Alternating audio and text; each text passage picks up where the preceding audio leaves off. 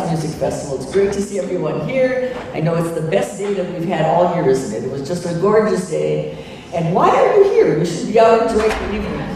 But on the other hand, we don't have mosquitoes here, so that's a good place to be. We have always on our first concert sort of a potpourri. We're not sure who's going to be ready to play. We plan a few things in advance, but it kind of turns into who's ready with something. And so I thought this morning that we weren't going to have long program, but as it turns out, lots of people apparently are ready, and we're lucky to have a combination of artists. We're Oh, too dark. Uh, three-quarter house so they can look at their programs if that's possible. Better, better. So we have some great artists with a capital G. Josef Feigelson, who won an Avery Fisher Prize a number of years ago, is going to be playing some Bach for us to start off the program that always seems appropriate. And then we go down the list to professional players and also student players. Some of them are collegiate, uh, at least one is in high school. So it's an interesting overview of who's going to be, who you will be seeing as the season goes on.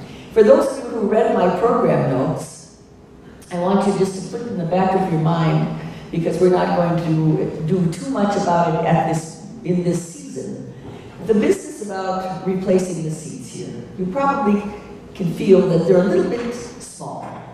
And if you read the, the little blurb that I wrote, can you imagine that the football team at Aurora High School, at the time the average weight of the football team was 137 pounds in 1922? That's, that's an astounding number. And those were the people who populated, you know, the Iron Age at the time. Nobody was very rich, nobody got fat, and, and the kids were wiry had walked to school and through the snow and all the rest of it. And, and it was a different time, a different generation. And now the seats are uncomfortable. But it seems to me that this wonderful high school, which is in this year 100 years old, deserves new seats. So we're going to work towards that in the next year or so, and maybe you'll all participate in, the, in to make that happen.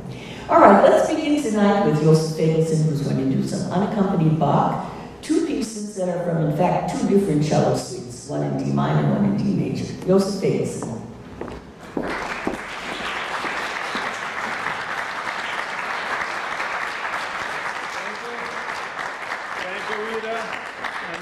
back and thank you to Veda. We have continuation of this great service to the community and of course to the mu musical community as well.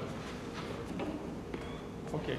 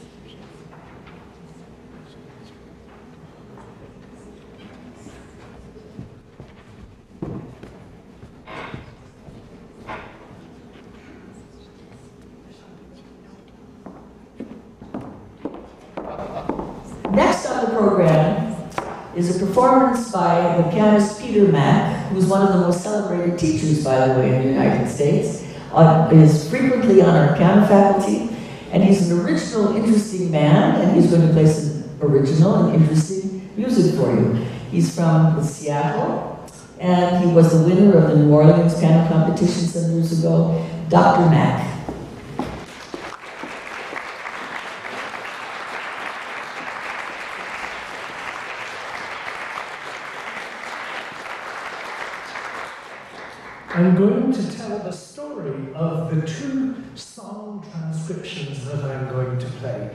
The first one is by the Argentinian composer Guastavino, and it's the story of the willow and the rose. And the willow and the rose are in love, except a beautiful woman comes by and she picks the rose and she wears it and walks away and the rose dies and the willow is left weeping. The second one is called Boom, and it's a transcription of a cabaret song by Charles Trenet, and it's just about the sudden exhilaration of falling in love. So, tragedy and exhilaration. Get rid of the microphone.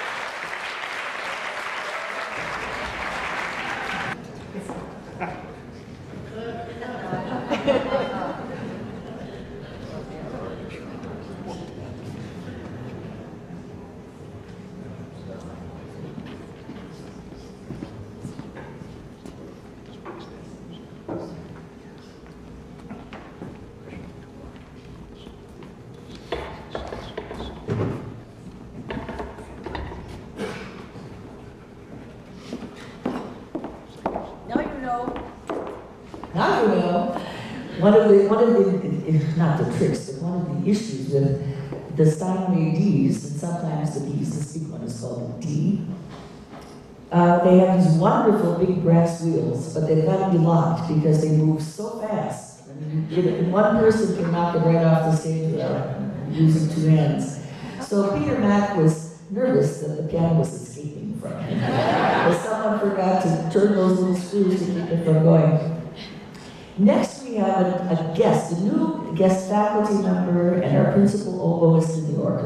Peter Stepp from Boise, Idaho, who's spending these three weeks with us. We're so delighted. And he's going to be playing Saint-Saëns, uh, a sonata for oboe and piano. And the pianist is Alexei uh, who's from Ukraine actually, now makes his home in the United States. He's a fabulous pianist. So we're going to hear these two great musicians doing some French music tonight.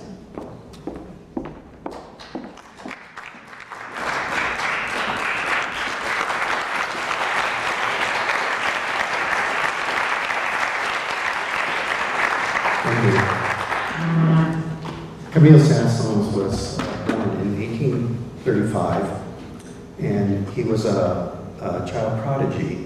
In fact, he uh, made his uh, initial performance with a symphony orchestra at the age 10 on, on piano. Later on, though, he, uh, at the suggestion of one of his professors, said that he should concentrate on organ because there would be more work for an organist than there would be for a, a pianist. Um, so he concentrated on organ. In fact, he became an organist at, uh, at a church in Paris. Uh, as far as his compositions, one of the famous compositions is the uh, concerto for uh, organ and uh, uh, orchestra, which is a very famous. In fact, it's not a concerto, it's a symphony, the symphony number three. Later in his life, he had decided that he had, he had neglected the uh, woodwind instruments as solo instruments. So the last three works that he wrote, Opus 166, 167, and 168, are the sonatas for oboe, clarinet, and the final one was the sonata for bassoon. So this is the Opus 166, uh, three movements.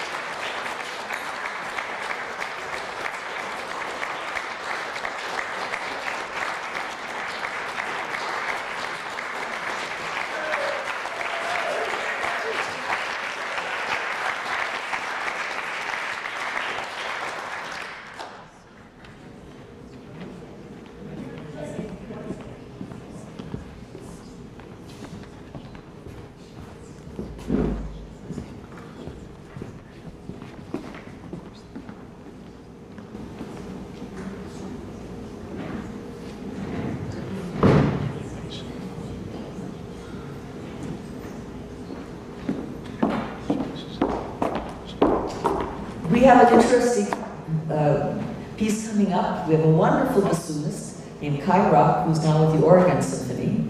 So we've got people from all the coasts and, and all over the world, including his pianist, who's a, a Greek pianist named Yanis. Uh, and he is from Thessaloniki in Greece and has received his Doctor of Music degree from University of Miami. I might mention that Carlos Bedoya, several seasons, some of you know him well, also is working on a DMA at Indiana University. So we have wonderfully elevated people. So you're going to hear some interesting Latin uh, bassoon music.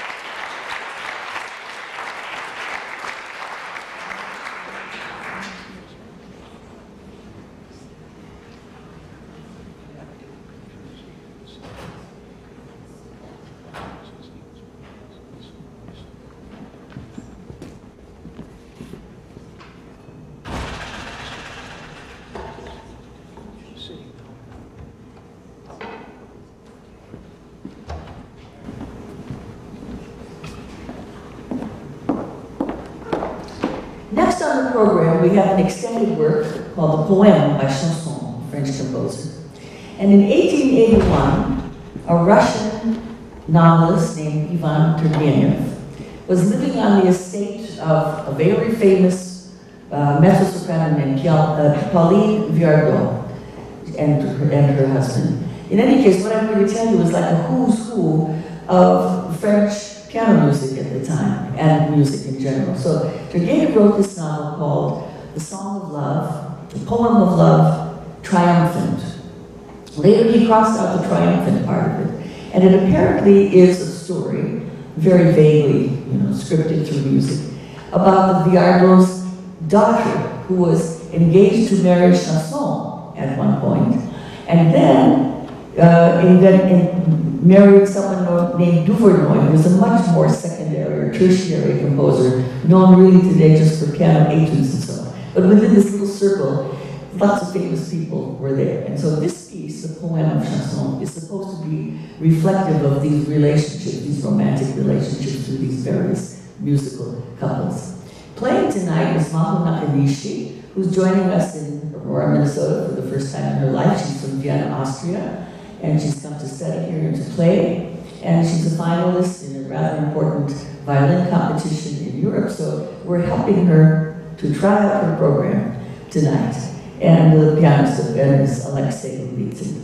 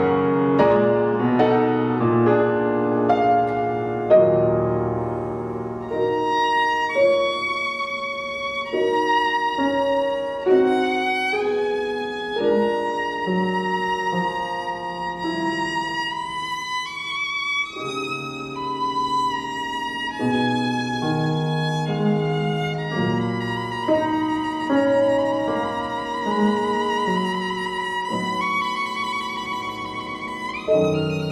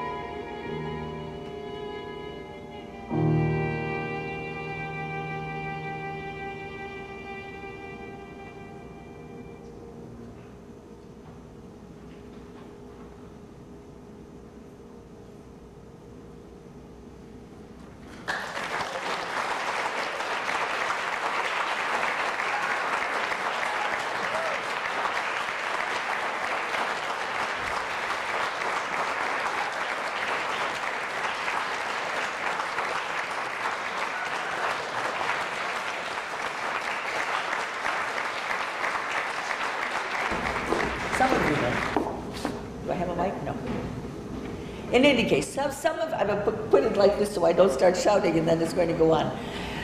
There is a wonderful Russian composer named Nikolai Kapustin who just passed away a year or so ago, who has written masses of music for the piano in the jazz idiom.